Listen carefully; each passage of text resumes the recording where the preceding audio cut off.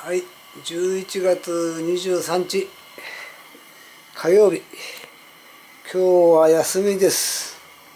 定休日だけども祭日やったよね今日ね。でも休みます。朝飯、えー、残ったやつやねこれね。昨日のあれとまあ残ったやつでもこれだけいつもいつも残って朝飯は大体残ったやつやな。銀杏をね今やあれ時期やから一緒に蒸した。はい。さあ今日は何しようかな。はい。昨日の続きの動画。ね温泉経営の経費を下げる。方法のね一つとして自分でする。といってもね自分一人でするというのはもう基本的に限度がある。これ銭湯に限らずどんな仕事でもね自分一人でできるというのはねまあね何というかな特殊な才能があればね歌手とかねスポーツとかなんかあればね自分一人でできるんだけど、えー、やはりそれなりの周りのスタッフというかパートナーというかなそういうのがいないとなかなか一人ではできない。けれども一人でできる範囲というのはあるよね。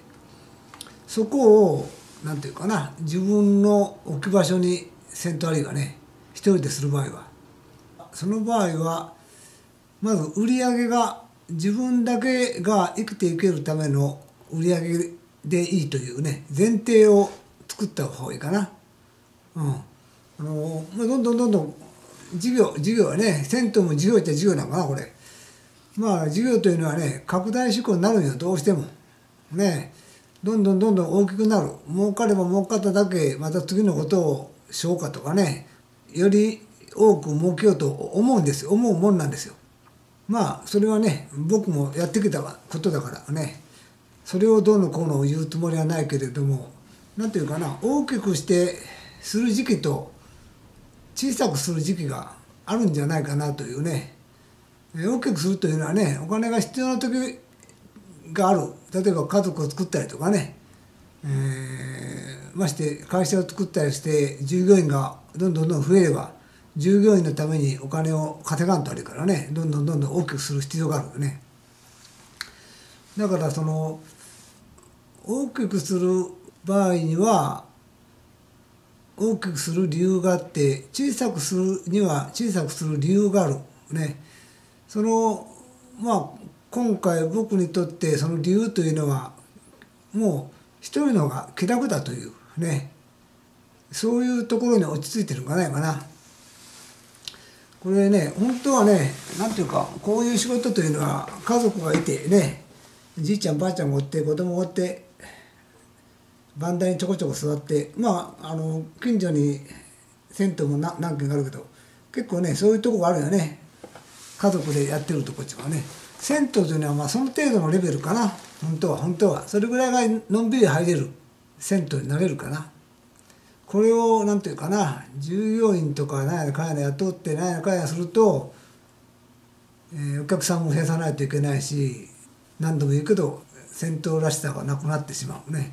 まあなんでね僕は戦闘らしさにをこう何て言うかな、えー、求めるというかそこを急にするかというとね僕はまあそのここを買った理由がね僕はのんびり風呂に入れた入れたからねここは本当もうあの倒産する前の温泉やって銭湯やったよね。なんだだからお客さんがどんどん少なくなってゆっくり入ったよね、うん、だからあのなんていうかな。僕の気に入った温泉ではあったんやけどね。まあだからといってね潰れてしまえばなくなるから。ね。だから今のなんていうかな。少ないお客さんで維持するためには自分でやっていくしかない、えー、縮小傾向の事業というのが成立すると思うよね。本当。拡大だけが事業じゃないと思うよね。小さくして必要な人間がまさに生存できるだけの運営というかな。それが可能じゃないかなと思って今やってる。ね、えだから今今度25日から、えー、3時半から8時半まで約5時間。5時間の営業でね短くして。まあこのその時間ならねまあ僕のペースでなんとかやっていけるんじゃないかなと。この動画を見て、えー、戦闘経営をしているね人は多分なんか同じような悩みというか悩みかな悩みというか問題やねを抱えているんじゃないかな。まあその一つの方法方法じゃないな。一つのやり方をまあ僕参考にしてればいいんじゃないかな。まあああいうやり方もあるんだなと思ってもらえばね。まあこれからどういうふうに展開するかわからないけどもね。実験？そんな感じだね。まあ本来は授業というのはねやはりこう目的が必要なんよね。もう前にも言ったけど生存するためね家族を持つとかそういうような目的があるから授業というこうなんていうかな原動力が生まれるんじゃないかな。でもまあ僕なんかの年になってそういう原動力とかなんていうかいろんなものがなくなってくればもう自分だけの問題になってくるよね。自分だけの問題。となれば前のそうしたさまざまなこう原動力では動かなくなってくる。機能機能しなくなってる。この運営がね。だから本当この動画を見ている若い人はねそこうこういう問題をほとんど考える必要はないと思うけども同じような年齢の人はだんだん考えてくるんじゃないかな。だんだんね。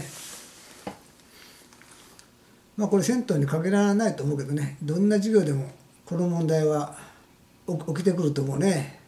まあ大抵の場合はね、えー、その仕事を辞めるという方向に行く行くんだけどもね。まあ辞めるのはねいつでもできるしね。一番難しいけども簡単だよね。やっぱりね。まあ、継続するというのはね本当楽しみでもあるかな。こんなやり方ならどどこまでやっていけるんかなとかね。やれるだけやってみようかとか何て言うかな。自分で試してみる。やめるってことはもうね試す必要もないけどね。やめればいいんだから。もうそこでおしまいだから。でも継続するというのはねいろんな試行錯誤してねやっていけるかどうかというのを実験できるからね。そういう楽しみがあるなんかねそういう楽しみながらやった方がいいな。何でも。戦闘経営の中でね経費を下げるという方法の中でね本当逆に一番簡単のはやめるということなんやけどね。それじゃあなんていうか物語にならないというか。ね。何度も言うけど人は生きて死ぬ。ただそれだけのことなんよね。そそそのことをどうのこうの言ったって全然面白くないよね。当たり前分かった分かりきったことやしね、うん、だから生きて死ぬ間どれだけ楽しみきるかというのがねそこは大切やね。まあ楽しむと言ってもね何て言うかな。楽しいことばっかりが楽しいんじゃないですよ。もう温泉のこの設備のねいろんな壊れたとことかなんとかっていうのは楽しいことじゃないよ全部ね。もう面倒くさいことばっかりね本当はね。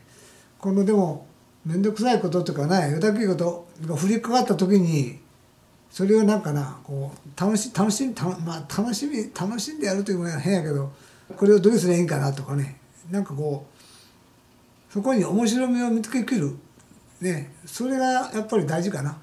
どの仕事でもそうか分からんなもしかしたら。いいこといいことばっかりじゃないけどね一番まずい時にねなかなかうまくいかない時にこそ面白みを感じるぐらいなメンタルの方が楽じゃないかな。もうこれこれもね性格によるかも分からんけどね。まあ、性格といってもね人間なんかそう大して変わらんのですよ本当。ね。強い人間が強いみたいだけど本当はものすごい良かったりするよね。電話や。今頃かかってくる電話というのは大抵もうなんか電話か電話のなんか勧誘っていうか電話料金がどうですかとかねあんなんばっかりよもうもう大抵無視してるけどね。話は電話は買ってきたからここで終わろうか今日は。はいそれではまた。